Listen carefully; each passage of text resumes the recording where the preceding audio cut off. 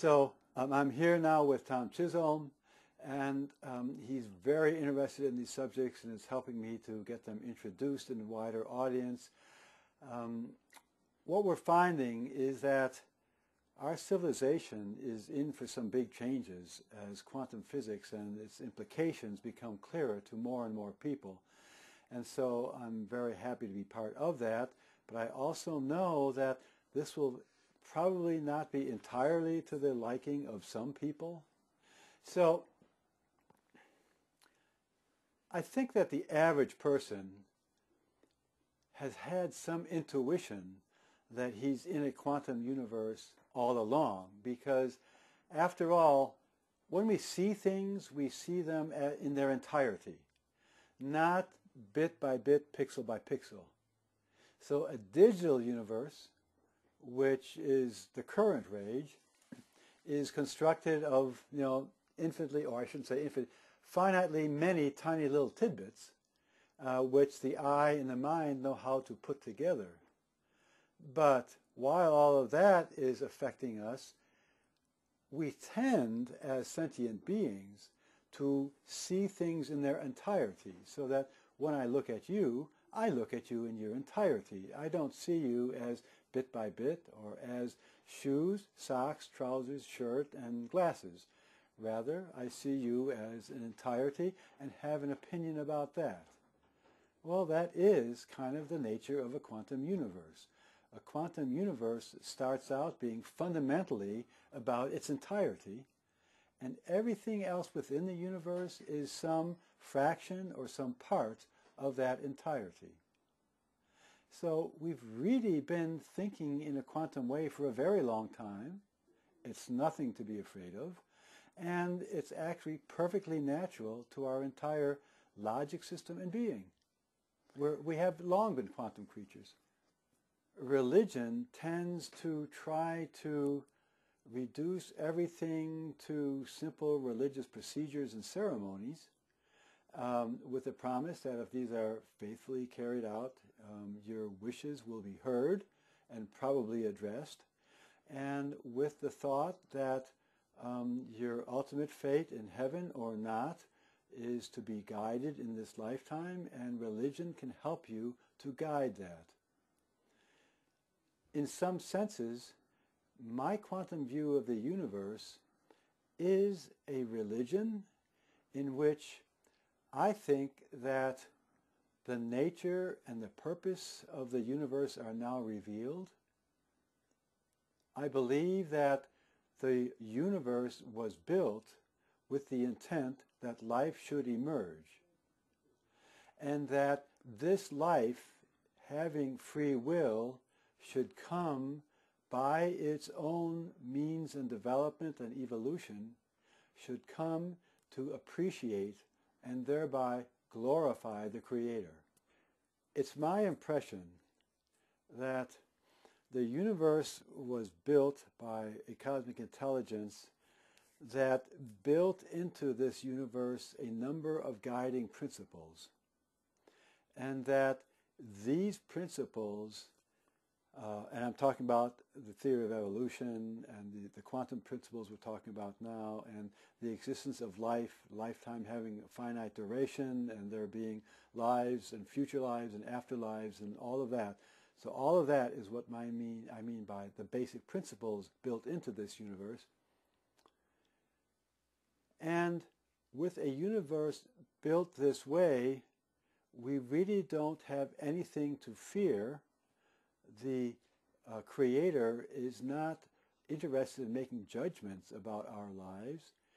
The, the, the creator is mostly concerned with seeing how these sentient free-willed creatures will progress to their ultimate goal, which was expressed into the universe or built into the universe long ago.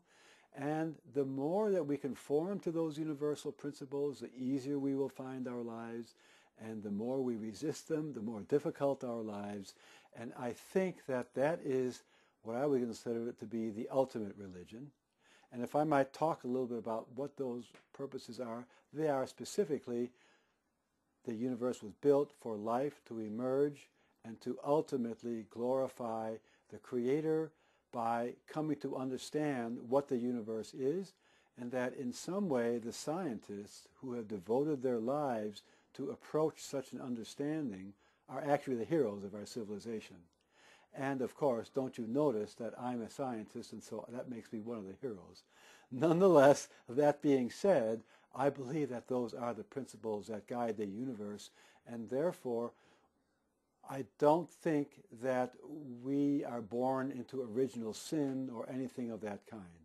I think we are born into eternal life and that the more we embrace that, the more successful our lives become. And so you're integrating reason with divine law and religion, which would seem sensible.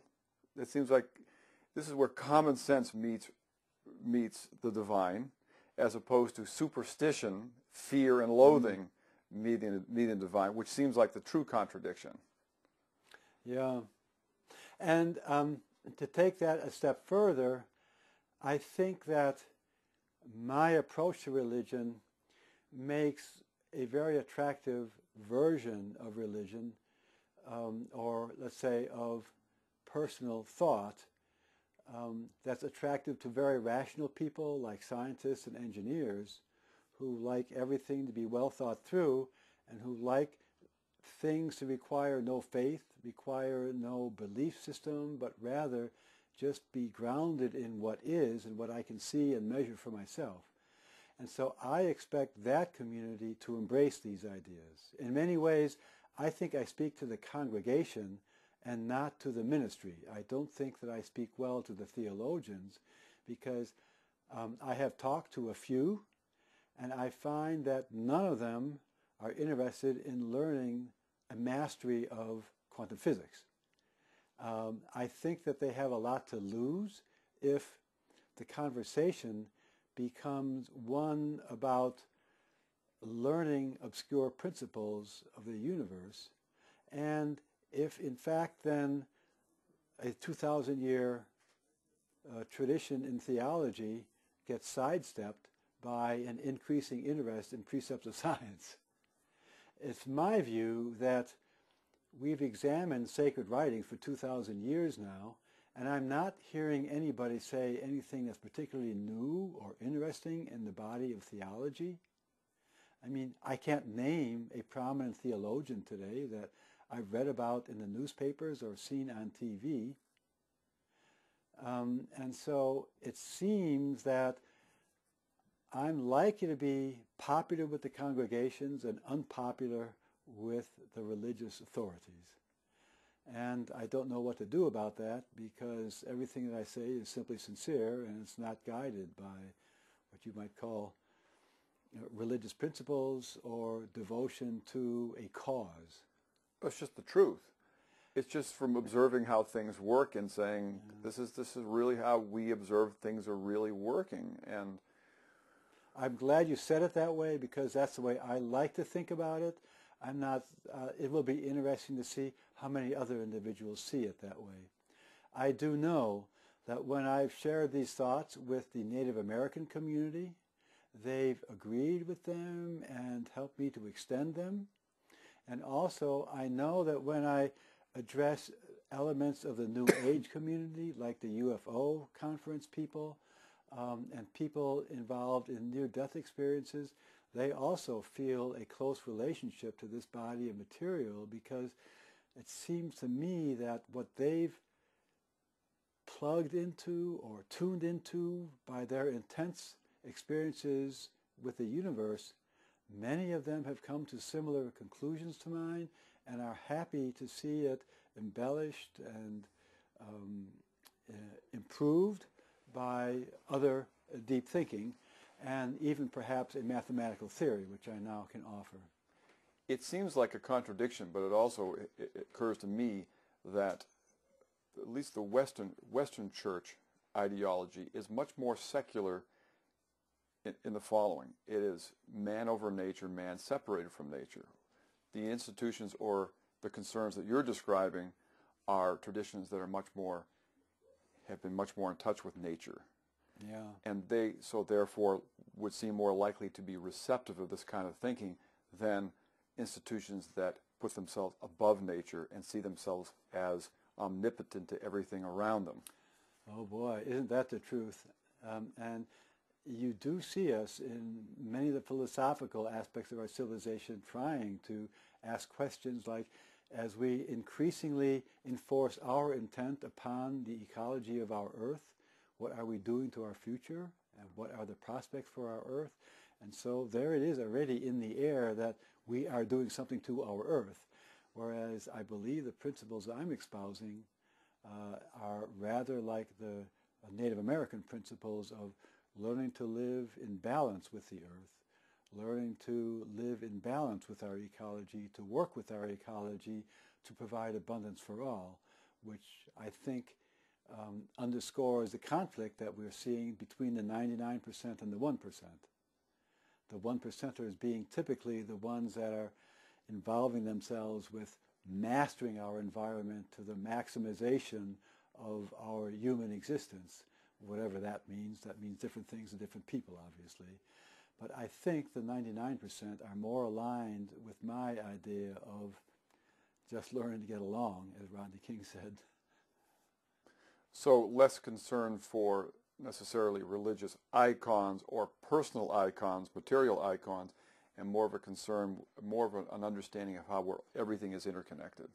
And our joint well-being, the, joint, the well-being of our civilization as a whole with a future, so that uh, we're not um, spending out our and depleting our resources now uh, with no thought of the future.